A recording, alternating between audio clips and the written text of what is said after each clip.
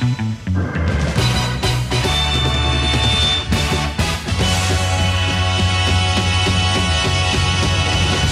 wonder if that was a direct response to... Oh, oh! Attila still ignited here, doesn't have the flash. Oh, Skittles? Doesn't have the pursuit. Skittles dodged out, flash forward from Pesters. Oh, he orders the one one!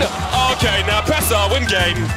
You after Caps fights against Jiizuke here. If the Urchens comes out, Caps jumps back forward. Holy moly. That's a lot of damage. Mowgli is actually in the bush. Jiizuke dodging around Caps. Uses second pocket. Perfect execution. There is the redemption as well. And Caps is ignited. Jumps away. The Requiem. Press R win game. Though, but can you catch Caps? Because up until now, it's been a very difficult prospect. Jiizuke jumps under the tower. Okay, Jiizuke's dead to the Requiem. Press R win game. No one can stop them. No one can stand up to the G2 army. We keep building up G2 as like this super villain mastermind. They're like in the evil lair and they're Yeah. just like plotting everyone's destruction. But then exactly, but then you look at them and they're just like cackling. They're But jovial. that's why they're so good at being villains. Uh,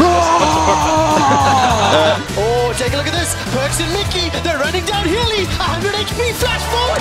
First blood picked up by Perkz and Mikyx. Rox has got the ult available with no Sonic Wave connecting. Resonating Strike simply will not be enough. Caps is not done yet. He goes forward. Broxah doesn't find the kick on the tower. Body block from Jankos. Here comes Mikyx. Nemesis. Now he dashes forward Protobelt. Uses the ulti. Insta cleanse from Caps. Paddle Store onto Nemesis. And Caps, ladies and gentlemen, solo kills Nemesis. And they are sharks. G2 can smell it. Blood in the water. They are charging and forcing this. As G2 Esports have repeatedly killed them. The fastest win of spring.